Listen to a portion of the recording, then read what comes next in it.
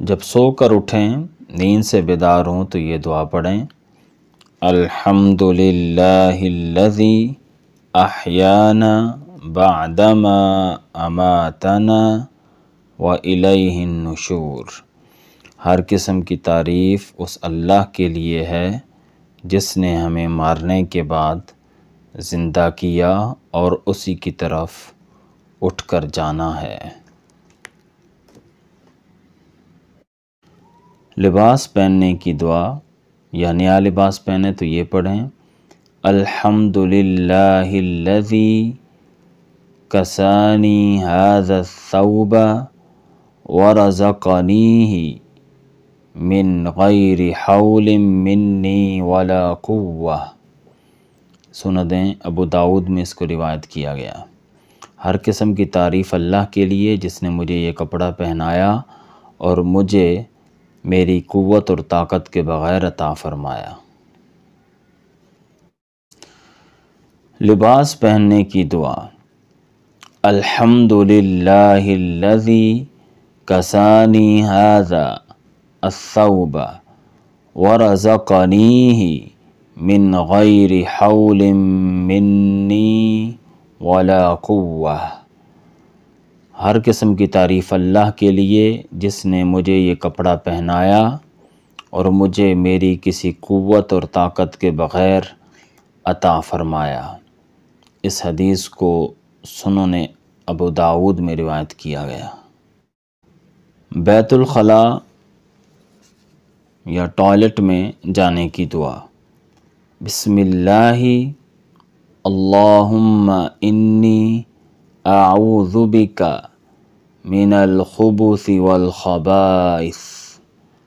اللہ کے نام کے ساتھ اے اللہ، میں خبیث جنوں اور خبیث جننیوں سے تیری پناہ طلب کرتا ہوں۔ اس حدیث کو امام بخاری نے روایت کیا۔ اور بیت الخلاء سے نکلتے وقت، نکلنے کے بعد یہ دعا پڑھیں، غفرانک اے اللہ، میں تیری بخشش کا طلبگار ہوں۔ اس حدیث کو سنوں نے ابو داود میں روایت کیا گیا۔ وضو سے فارغ ہونے کے بعد یہ ذکر کریں۔ اشہد اللہ الہ الا اللہ وحدہ لا شریک لہ واشهد ان محمدا عبده ورسوله صحیح مسلم کی حدیث ہے کہ میں اس بات کی گواہی دیتا ہوں کہ اللہ کے علاوہ کوئی معبود پر حق نہیں، وہ اکیلا ہے، اس کا کوئی شریک نہیں۔ اور میں اس بات کی گواہی دیتا ہوں کہ محمد صلی اللہ علیہ وسلم اس کے بندے اور رسول ہیں۔ گھر سے نکلتے وقت کی دعا اور ذکر یہ ہے، بسم اللہ توقع توکلت علی اللہ، لا حول ولا قوت الا باللہ۔ اللہ کے نام کے ساتھ میں نے اللہ پر بھروسہ کیا اور اللہ کی مدد کے بغیر نہ کسی چیز سے بچنے کی طاقت ہے اور نہ کچھ کر سکنے کی قوت ہے۔ ابو داود نے اسے روایت کیا۔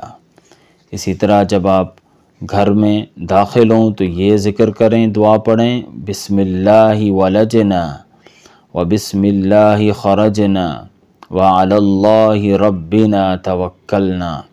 اللہ کے نام سے ہم داخل ہوئے، اللہ کے نام کے ساتھ ہی نکلے اور ہم نے اپنے رب پر بھروسہ کیا۔ اس حدیث کو ابو داود نے روایت کیا۔ مسجد میں داخل ہونے کی دعا۔ اعوذ باللہ العظیم بوجہہ الکریم وسلطانہ القدیم من الشیطان الرجیم بسم اللہ والصلاة والسلام على رسول اللہ اللہم افتح لی ابواب رحمتک رواہ ابو داود. میں عظمت والے اللہ اس کی اس کے عزت والے چہرے اور اس کی قدیم سلطنت کی پناہ میں آتا ہوں شیطان مردود سے۔